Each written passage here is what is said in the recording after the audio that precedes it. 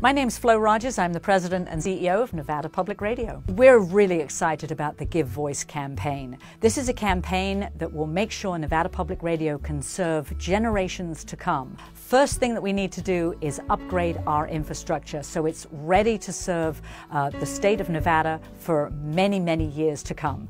We're actually replacing studios and external infrastructure that is 15, 25 years old. The campaign is halfway to its $6 million goal. And we've dedicated $3 million that will be invested in content production.